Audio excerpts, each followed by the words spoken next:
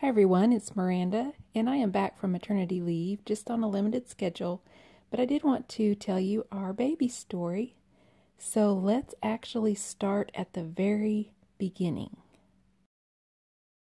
So, my husband and I dated long distance several months. We used to write letters back and forth and make phone calls back and forth because he was in Army National Guard training at the time.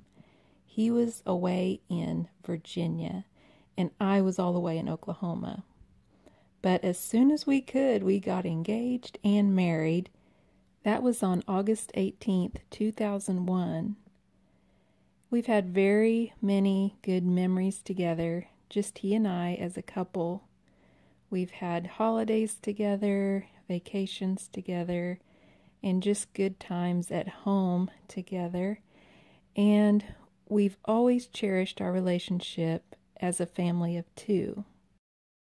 But not everything was always easy. We hadn't been married too many years until my health took a turn for the worse. I knew I had a few health problems to begin with, but nothing as severe as it would get. It just seemed to get worse and worse. I had so many times where Josh, my husband, would have to take me to the emergency room or to doctors. I would have to get IV fluid to even function and just really didn't know what was wrong with me. I went through several tests and actually ended up in a wheelchair part time, and it just was a very hard time. And he and I thought we probably would not have children mostly due to my health.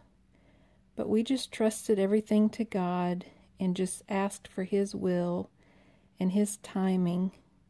So after we had been married almost 18 years, I got my very first positive pregnancy test ever.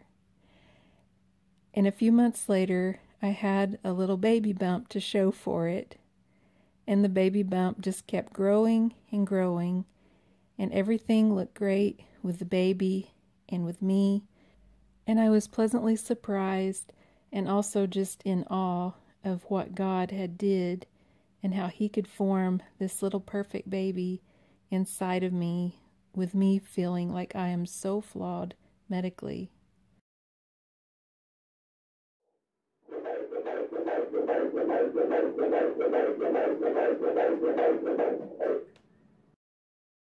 But what is impossible with man is possible with God, and our little Clarissa Faith was born. Thank you so much for your support of my channel. My schedule will be a little bit limited the remainder of this year while I'm bonding with my new precious baby girl. But thank you for sticking with me until I return to my full schedule. Thank you so much for watching.